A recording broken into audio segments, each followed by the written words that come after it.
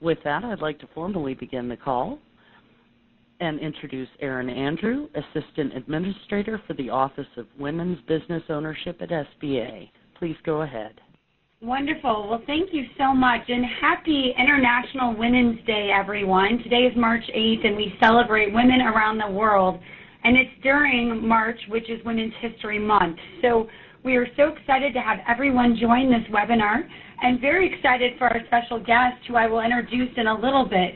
Um, but first, I wanted to kind of start out and give you an overview of where women are right now in terms of starting and growing businesses. So let's go ahead and move to the first slide, please.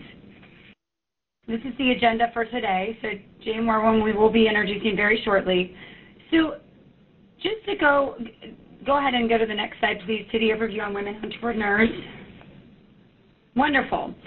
All right, so just women today make up about 36.3% of all non-farm U.S. business owners, and according to um, data from the U.S. Census Bureau, women's entrepreneurship is absolutely on the rise. So we definitely have something to celebrate this March. U.S. business ownership rose nearly 27% for women, and overall, America added 2 million net new businesses from 2007 to 2012. And so many of these net new, million, net new businesses are hiring new people as well. So we're very, very excited for the growth we've seen in women-owned businesses. We also know that women-owned businesses increased their receipts, producing 1.4 trillion in sales in 2012 compared to 1.2 trillion in 2007. And women are starting 1,145 new businesses per day, which is incredible. Most have no employees, though, um, and we do know that roughly 90% of them do not do not have employees. So one thing that we're really focused on, you know, at the SBA, and we'll continue to talk about, is helping women-owned businesses not only start but also grow and employ more people. Today, I'm going to talk a little bit about, if you want to go ahead and move to the next slide, um, some of the programs we here we have here at SBA for women entrepreneurs. And we usually call them our three C's, capital, contracting, and counseling. Um, and so in terms of capital and increasing access to capital for women business owners, on average, we know that women start their businesses with half as much capital as men. And women-owned and men-owned um, high growth potential firms experience larger disparities in capital at the time of founding. So access to capital is a huge challenge when we talk about women-owned businesses. Our president continues to be committed to increasing women's access to capital, as well as our administrator, Contreras Sweet, here at SBA. And through the Recovery Act and the Small Business Jobs Act, the administration put much needed capital into the hands of women entrepreneurs by expanding the availability of loans that we have at SBA. Now we have um, a 90 um, billion portfolio of loan guarantees. We have two different loan products, um, a 7A product and a 504 loan guarantee product, and those go up to $5 million with no floor. We also have a microloan product which is under $50,000. And I can tell you um, some of the changes that have happened, the SBA has made available more than 4.5 billion through more than 16,000 loans to women-owned businesses. And in fiscal year 15 alone, lending from SBA was expanded and reached historic levels with 3.72 billion in capital available to women. And that is a 19.2% increase from fiscal year 2014. And we also know that SBA loans are three to five times more likely to go to women and minorities than conventional bank loans and we're really focused on getting those loans and that, that capital to women as much as possible. I also want to say that SBA has done a lot really looking at the underwriting of smaller dollar loans to ensure that women are getting the access to capital that they need. Um, we did a fee relief for banks on loans under $150,000 because we were seeing a lot of women, like women tended to be a little bit more in the less capital intensive industries. They they were more in the service industries and they were having a hard time. They might just need a $150,000 loan, but they were having a hard time, especially after the recession, getting that $150,000 loan because it would cost the bank the same to do the $5 million loan versus the $150,000 loan. So we really wanted to focus on making it easier for banks to give out loans that were smaller dollars because we saw women really playing in that space and getting their foot in the door with some of our 7A and 504 products. So we've made some of those changes. We've also introduced Link, which is called LINC. If you go on to SBA and just Google LINC, it's an online portal, portal and it's a matchmaking essentially between lenders and borrowers. So if you are a borrower and interested in finding a potential lender, whether it's a micro lender or a conventional bank, you can put your information onto Link. So that's kind of our first C, which is access to capital, and definitely one of the most popular ones here at SBA. The other C, the second C, is contracting. And the federal government has a goal of 23% of all federal contracts going to small firms. And we then have sub goals, one of which is 5% to women owned firms. And we know when the government contracts with women owned businesses, it empowers women and acts as a catalyst for small business growth and innovation while supporting the economic security of this nation. So we know that when women are doing business with the government, they are growing, they are hiring more people, and they're helping their communities. So that's something we're very, very focused on. And I'm happy to say that just last week, for the first time in history, the federal government achieved the 5% prime contracting goal for women-owned small businesses. And yes, we've had this goal on the books since 1998, and we have not we had not made the 5% goal until just last week when we announced it. So it is a great thing, but we definitely have more to do um, and, and, and, and, and there are additional opportunities there. Um, but if you're interested in the government contracting space and learning more about the government contracting program that we have um, in the federal government, you can go to sba.gov forward slash WOSB. That's sba.gov forward slash WOSB for the Women Owned Small Business Contracting Program. And I'm also happy to say that last week when we announced that we made the goal, we also announced the expansion of the NAICS codes, the industry codes that uh, qualify under the Women-Owned Small Business Contracting Program. So if you go to that website, you can find out more and find out if you qualify. We, there's a self-certification op option through that program as well as a third-party certification option. But if you're already doing business with state government or in the private sector, um, and you know are engaged in a lot of those supply chains, the federal government is definitely something to consider. And then finally, counseling um, is our third C, and we have over 12,000 um, free counselors and trainers across the country um, that provide free and at low-cost counseling and training. And they do that through our women's business centers. We have over 100 women's business centers. Um, we have about 1,000 small business development centers and 12,000 SCORE volunteers. And they are in every community, almost every community across this country. And we also have district offices, about 68 district offices across the country um, that can help you identify which resource partner might make the most sense for your business. And they also can help you identify which bank might make sense if you're looking to access capital for your business. I have to say our women's business centers, they are located in nonprofits, um, and they definitely, there's, there's a bit more of a focus on socio and economically underserved populations. That being said, um, that definition is different in every community, and they help a wide range of businesses across this country, um, especially women, get started and grow. Um, and I also, I, I want to say that a lot of those centers provide services in other languages, at least 90% of the centers provide services in Spanish, and then there's a whole list of other languages that they do provide services and depending on the community where they are. Um, so definitely something to look at. Our small business development centers are located at universities and colleges, um, and they work with all businesses. They, they work with a lot of in-business businesses as well, grow and expand. And then our SCORE counselors are a volunteer network, and they um, through that volunteer network oftentimes have owned a business at some point and want to give back. So they are volunteer mentors to a business who's either getting started or trying to go to grow And we've had folks that have gone to a couple of resource partners before. They've gone to um, just one and they found a, a perfect fit. So I would just say work with your district office and definitely um, work with the resource partners that are available.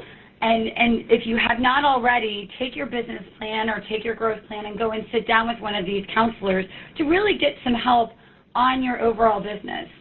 Okay, and I just want to tell you one more thing, um, an initiative, if, if you want to go to the next slide. Those are kind of like our three major programs. One that I did not highlight on here, I want to talk about, and then I'm going to talk about our Innovate Her Business Challenge. We have the Small Business Investment Company Program, as well as the Small Business Innovation Research Program. Now, our Small Business Innovation Research Program, um, there are, uh, there's a group of agencies who have a percentage of their research budget that go to grants to small businesses who are testing something that the government can use or might need that might not be covered in the private sector.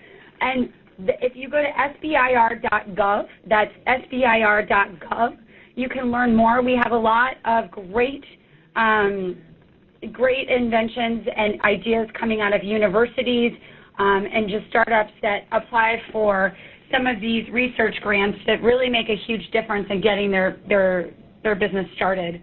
Another program is a small business investment company program, and it is a debt and equity program. So earlier I mentioned um, our 7A loans, our 504 loans, and our microloans, um, and those are kind of our access to capital space. Our SBIC program is the, SB, the, the SBICs are essentially investment firms that we work with the that work with the government, and they provide debt and equity options. And if you go to our website, you can find out more about both of those programs, but wanted to quickly mention those. And then finally, I'm going to quickly mention Innovate Her Business Challenge and then hand it over to our special guest as we hear about her story and her experience as a woman entrepreneur. So Innovate Her Business Challenge, um, we were looking as an agency at the number of women that were underrepresented in the investment space um, it's less than 6%, and less than 4% of venture funding goes to women small businesses um, and women entrepreneurs. So we were looking at those two things, and at the same time, we're really looking at women have about 85% of the purchasing power, not over 80% of the purchasing power in this country.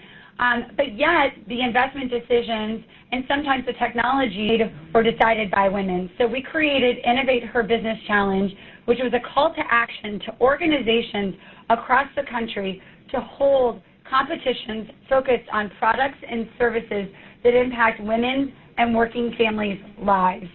Um, and I have to say, in this past, we started it this last year, earlier in 2015, um, and then this fall.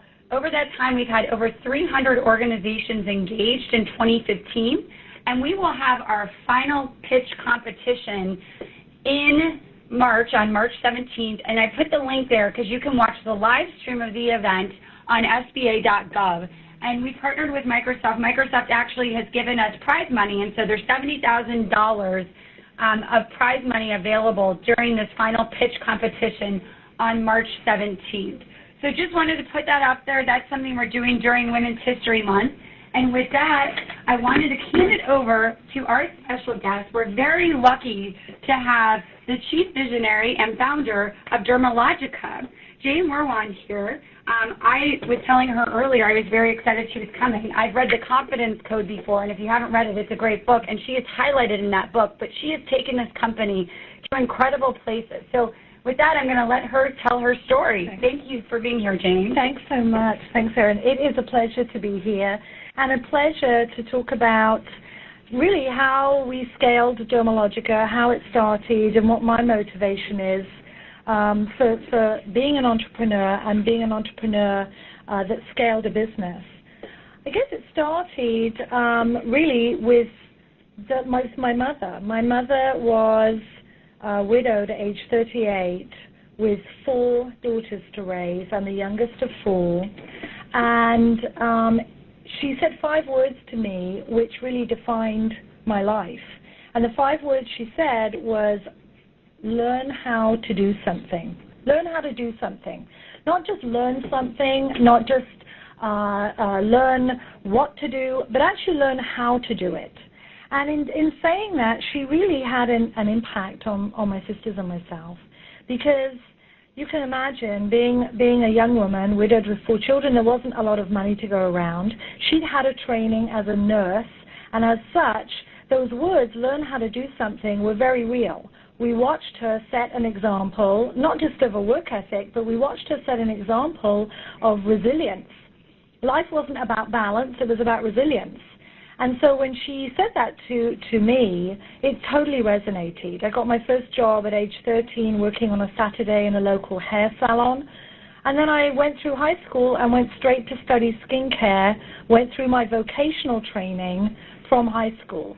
I believe that vocational training is the fastest way to financial independence, and the fastest way to financial independence is a vocational training with entrepreneurship.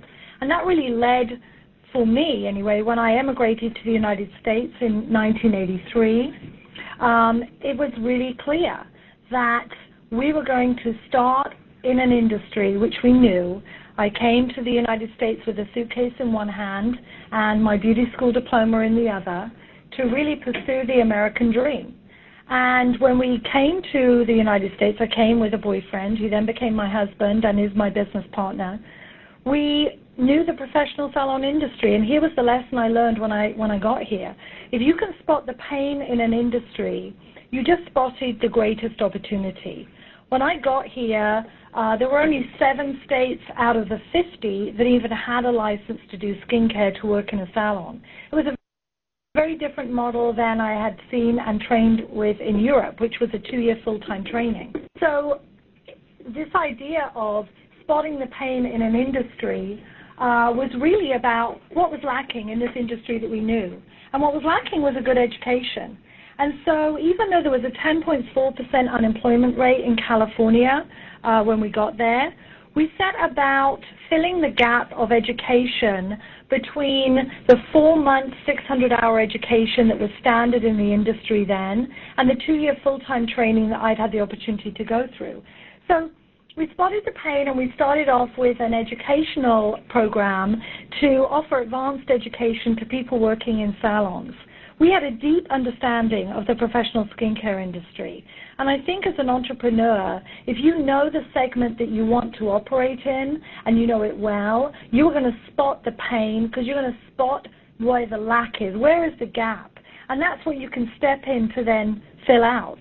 We wrote our business plan literally at our kitchen table, and I started going to trade shows in the industry to talk about the opportunity. We were teaching classes that would not just teach technique, but would teach how to grow your business. And so I believe that you can create a revolution through education. And when we started out in 1983 educating in Los Angeles, and remember only seven states out of the 50 even had this qualification that people could work in skincare in a salon, we knew that we were going to build an industry and build a tribe in that industry through education. So we saw the gap in the industry. We saw that there was a need for advanced education, and we were teaching not just how to uh, offer techniques in the salon. We were teaching how to build your business, how to run PR, how to build the book in a salon. And I guess one of the most exciting things about our industry is it puts more women into their own business than any other industry in the world. 64% of all salons are owned by women. And the other unique opportunity is, according to the United States Department of Labor, there is a 40, 40, 40% projected job growth in our industry between now and 2022. That's second only to tech. So this is an industry which we were growing in the 80s, and we grew it by teaching those small entrepreneurial businesses, the salons, how to grow their business, how to be empowered in their business, and how to go on to not just employ themselves, but employ two or three other people as well. I guess by creating that education, we're able to start and grow a revolution. And the app that connects the Dermalogica salon owners, and there are 48,000 around the world, they call Tribe. Tribe Dermalogica is our online um, app where everyone communicates best practices. So we spotted the pain in an industry. We believe the best way to secure our spot in that industry as an entrepreneur was through education. I believe education doesn't just uh, change the way people think and change the way people feel. I believe it sets a human soul on fire. And so we had a tribe that began to grow their businesses in a more successful way. We teach in 40 training centers around the world, and we train over 100,000 skin therapists every year around the world to start and grow their business. So this is an industry that really is a blueprint for entrepreneurs and a blueprint of how to take an idea and scale it. We started Dermalogica on $14,000 of self-funding.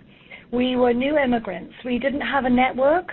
We didn't have a college network or alumni. We didn't know anybody, and no one would have lent us anything. And so we self-funded on $14,000, and we bootstrapped it up. We worked uh, with small businesses that were taking our product and paying cash on delivery. We were cash positive immediately. We didn't deal with large businesses that would have asked for 120 days of credit. We learned that by dealing with small businesses and scaling like that, we would be cash positive. So we started with self-funding. We never gave away equity, and we never took outside funding. And in that in that heart that we we love the industry that we're in, and we were dealing with all of our small entrepreneurs, we realized there was an enormous purpose in what we were doing. And the purpose that we were doing was helping to empower other entrepreneurs and encouraging them to scale their business. So for 30 years, we've really been in the business of entrepreneurial empowerment. And that led us to embedding a social impact piece into our business. And I have to say that going forward, I don't believe a business can be successful without a purpose that is authentic and embedded, into it. And that led us to FITE, Financial Independence Through Entrepreneurship. FITE, F-I-T-E, is our social impact piece. We've taken the model, the blueprint of what we learned in the industry that we're in, what Dermalogica learned in building a tribe, in building a tribe of 48,000 independent entrepreneurs around the world, and we use that as a blueprint to help empower other industries and entrepreneurs in other industries. We launched FITE in January of 2011, and so far we have funded and taught over 73,000 entrepreneurs around the world. This social impact piece of FITE has really revealed to us our purpose. Our purpose in growing Dermalogica was to empower the individual entrepreneurs 98% of the women in the salon industry, which puts more women into their own business than any other. But within doing that and growing our own business of Dermalogica and scaling it to a point where last year at wholesale we did $250 million and selling in 107 countries worldwide. In doing all of that, we really found our true purpose. And the social impact purpose of Dermalogica, which was really in, in, empowering entrepreneurs to become financially independent. And the lessons we've learned over the 30 years has really been to speak to the fact that as entrepreneurs, we are job creators, not job seekers. And as the UN says, we need 600 million new jobs where are they going to come from? It's not going to be from big corporate anywhere. It's going to be from the individual entrepreneur, the majority of which will have had a vocational training that build our high streets and our main streets and our neighborhoods and our communities and go on to employ themselves and a handful or several hundred handful of other people. Entrepreneurship is not just a social in- issue, it's uh, not just a political issue, it is an economic issue. Because when we create new jobs, and specifically when we empower women economically, it is going to contribute trillions of dollars back into our economy. The McKinsey report in September of, of last year said conservatively, just pay parity is going to kick in $12 trillion to our GDP. We have not just a desire for more entrepreneurs, we have a critical need.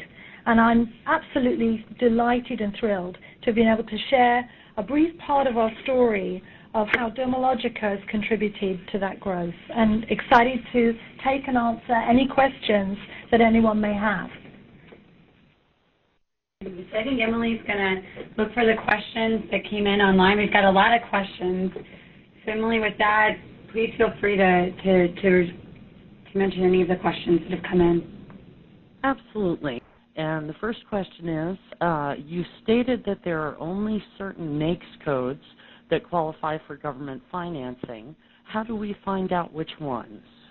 No, great question. If you go to sba.gov forward slash WOSB, that's WOSB for Women Owned Small Business, everything on the Women Owned Small Business Program is listed there, and the new NAICS codes, the study that just came out that we released last week, will be available and information will be available on that website um, so folks can find out exactly which NAICS codes they qualify under.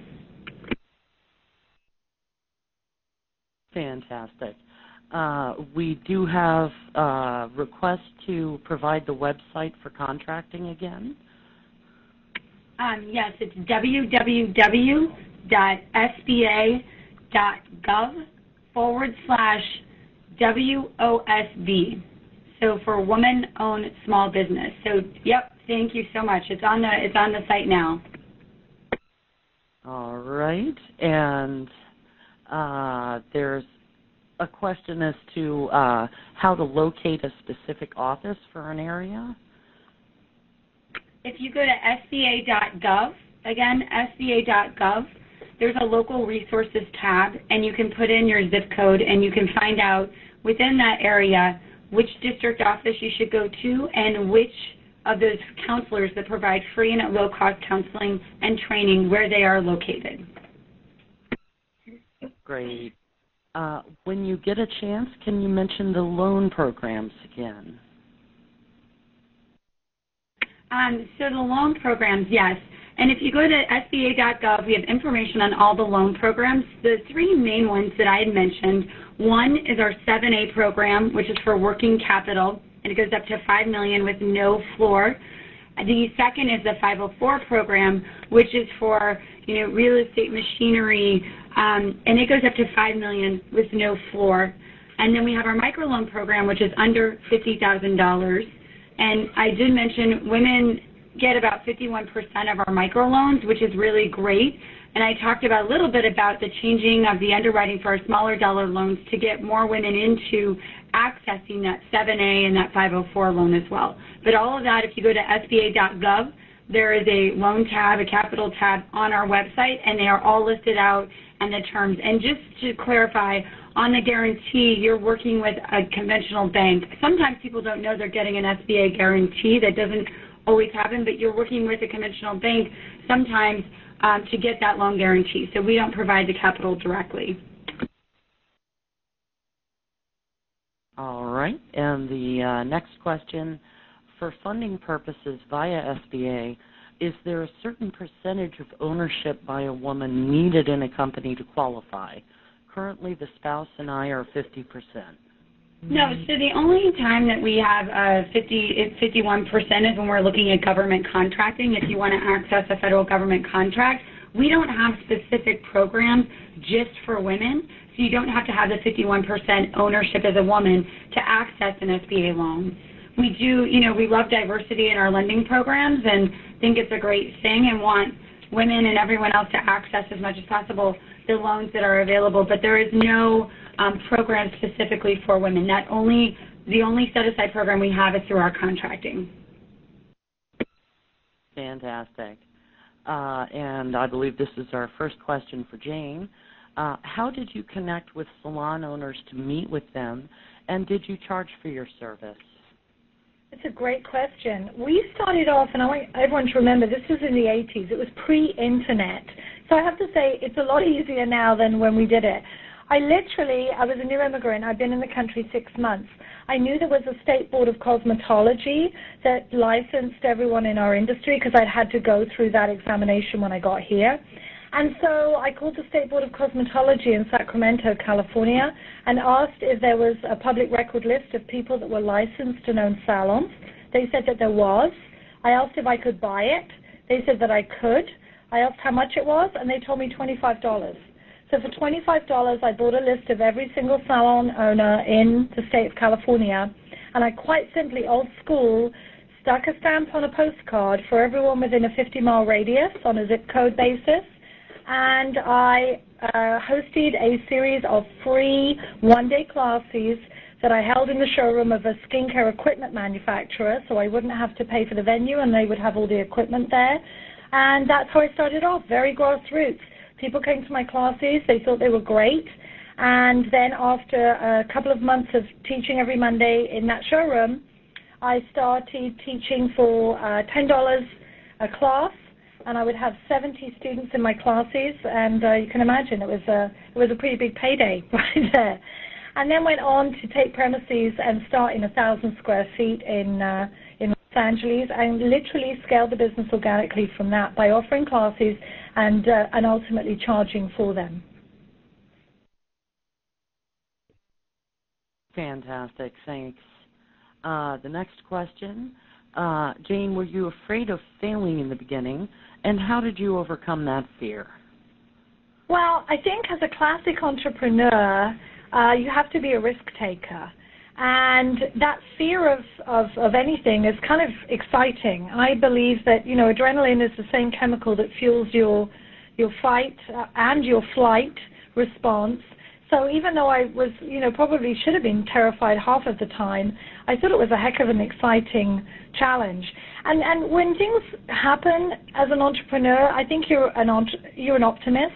There's actually been, I think, in Inc. magazine this month, there's a psychographic of what makes an entrepreneur, and if you read it, you actually realize you're a half crazy person because you will take risks that make no sense. You are excited by constant stress, and you see every challenge as productive discomfort. And that certainly described me. I could look back and see a lot of challenges that we had, but I saw now, see now how we overcame them, and therefore that challenge became a lesson. So I think that you know the definition of bravery is not whether you're scared or not; it's whether you can function through your fear. And if you can, congratulations, you're an entrepreneur. And if you can't, I'm not quite sure if entrepreneurship is for you because you have to have that ability, I think, to function through your fear. Wonderful, thank you. Uh, the next question is uh, As a stay at home mom of three, my dream is to start a business. However, I am having such a difficult time figuring out what I want to do. What advice do you have to those who have lost themselves in family and can't find their purpose? Thank you. What a great what a great question. I will say that more we find our purpose in our passion. So what are you excited about? What is it that you really love? Sometimes I say to people, what did you want to do when you were 11 years old before you had a family? What was the thing that engaged you? And no matter how random it might seem, somewhere in there is something that speaks to your heart. It's also no coincidence that so many new baby products are developed by new mothers and fathers who suddenly spot the need for something. I remember I have two grown daughters now, but I remember when they were little, uh, applying diaper rash cream, which was oopy, sticky, goopy, out of a tube, and you kind of smeared it on with your fingers. It has never changed. I think there's a huge opportunity in spray on diaper rash cream that doesn't require somebody smearing it. I think instead of a baby wipe, the baby wipe should be like a baby wipe mitten, where you could put your hand in the mitt and use both sides as the baby wipe. So even if you stay at home and you have three children, I absolutely guarantee you there's something, there's a challenge, there's a pain that you are facing every single day, and in that pain, there is an opportunity. And so I think that you are probably surrounded by it and would also be something that speaks to your heart. Wonderful. Uh, let's see. Next question. Uh, hang on, I lost it for a second.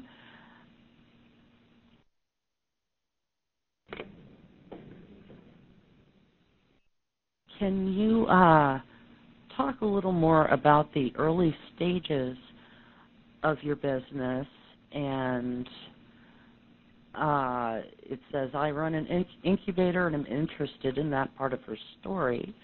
And uh, another related question: uh, When did you know it was time to reach out to larger businesses?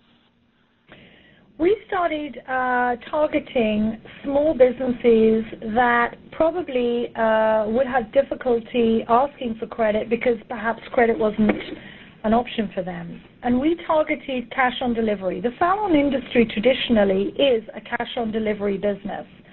And so we were, first of all, for the first three years, we were selling classes. And then we launched Dermalogica. And the classes were obviously cash uh, on, on payment when you enrolled. For Dermalogica, when the product was delivered, cash was secured from the salon owner. We purposely avoided large businesses that would ask for credit. And so while it was, you know, very appealing to have some of the large chain accounts come to us and want the product, we actively said no because we knew that we could not carry a debt of 120 days and be able to replenish inventory if we didn't have cash flow. So we were very purposeful in targeting small businesses, literally knocking on their doors, going in, talking about our product. I would hold classes at trade shows where we also had a booth, and in order to redeem the gift at the at the lecture that I was giving, you'd have to go down to the booth. So it was very grassroots, building it in that way. We put together uh, guest speakers where people would come to our premises and speak about everything from financial literacy to how to design your menu, and we would host those classes. They were those events, sorry, and those were free, but we would always push for enrollment on the classes that were paying when people came to us. So every opportunity we could look to reach out to those very small businesses, we did. And we didn't go um, after large accounts where we would have had to have carried uh, debt for them, uh, really until we'd already been, you know, in the industry and successful for 20 years. I mean, we did not go for major department stores because we didn't want to carry 120 days, and instead we went outside of the United States and appointed individual uh, exclusive distributors in other countries who would buy product from us and then handle the distribution in those countries themselves. We were actually in Australia and distributing there and, and a host of other countries before we ever took our first chain account. So it was about growing the business organically and growing it within our and not overextending ourselves too quickly, which would have put us in the position that we had to actually carry debt and perhaps not be able to cover overhead. I think I think we have time for one more question for um, Erin at the SBA and one more question for myself. All right. Uh, one moment. So we have a question. I am starting with my husband a cheese making and cooking class uh, and value added local foods business based on a farm. Any advice as to where to look for funding as a mainly women's business? No, it's a great question, and I, I definitely, you know, I keep mentioning our SBA.gov website, and I joke we don't have marketing dollars or ad dollars, so earned media is everything. So if you visit SBA.gov, it's a good thing, and please spread the word. I also would look at USDA, the Department of Agriculture, the U.S. Department of Agriculture. Um, USDA also has microloans um, that are available. SBA has microloans that are available, and they're depending on the type of business, if it's a food business, value add, or ag-related business, there is funding available there, and I, I, we work very closely with our partners at USDA on that. So those are two government resources. There's also oftentimes state and local resources as well. So I would look at your state. Um, sometimes there's state grants available um, in the food industry, and I would also look at your local um, options through your city or county um, too. And I think there are a host of number. You know, we have some other resources on our SBA.gov forward slash women website. Um, some other women's organizations and some other places to look for funding where it could be, you know, where where, where it is available. And I think Jane, you saw a question. There was a question that I just actually uh, saw pop up, which was um, just having a quick look. Sorry. Uh, um, did you ever have to change the focus of your business in the beginning of your journey due to lack of funds? As a result, you had to scale back or change your business model. If so, how did you get over switching gears, both emotionally and professionally? That's a really great question because sometimes the idea that we think we're going to pursue turns out not to be the idea that is ultimately going to lead us to our entrepreneurial success. And here's my analogy. You know, for those of you who have given birth, and even if you haven't, I'm sure you can imagine what it's like. You have a baby, and a baby's kind of messy. When you give birth to a baby, it doesn't kind of look, doesn't come in a blanket. They take the baby away, clean the baby up, wrap it in a blanket, and hand it back to you. That's like an idea. When you have an idea, you birth an idea, you birth a business. Trust me, it's kind of like having another child. It's messy. Your idea isn't cleaned up. It doesn't quite look the way it's going to look eventually. Sit down. It doesn't mean it's a bad idea. Sit down. Clean up the baby. Clean up the clean up the mess. Make it tidy. Wrap it in a blanket. You have a good idea. The the critical challenge for an entrepreneurial brain is not pursuing something through to fulfillment. We tend to get an idea. If it hasn't kicked in with success in six months, we're like, okay, that must have been a bad idea. On to the next idea. No, no, no, hang on. That first idea may have been the right one. Don't abandon it too quickly. Your runway is long on success. Don't think you're going to run out of runway. Don't shrink yourself or your idea. Look at it carefully. Start back with it again. Clean it up. What have you really got there? Because that thing that speaks to your passion is likely the thing that is going to lead you to entrepreneurship. So I really encourage you, don't abandon it too quickly. It's fine to clean it up. It's fine to edit it. We originally started in skincare. We thought perhaps one day we would expand into makeup and hair products. No. Our focus was skincare. It's the thing that we love the most. It's the thing that we do the best and having a tightly edited and focused goal is often the thing that will lead you to your dream. Great. Well, thank you so much. I just wanted to close by saying thank you to Jane for being here. Thank you. I know we're excited. We love to highlight amazing women entrepreneurs, and you definitely are one of them. So thank you for your words of wisdom. We encourage everyone um, to check out SBA.gov if you're looking for resources, whether it be counseling, capital, or contracting resources. And we just want to thank you all for your time. Um, for those of you who are running a business, thank you for what you do. To Jane's point, it's not an easy thing. Um, and just we want you to know that you have people there that will help you along the way if you need it. So visit SBA.gov. And with that, I just want to say happy International Women's Day. Let's continue to celebrate women not only today but the rest of the month of March and quite frankly all year because we make up over half the population and we need more women to start in. So with that, thank you so much everyone and have a wonderful afternoon.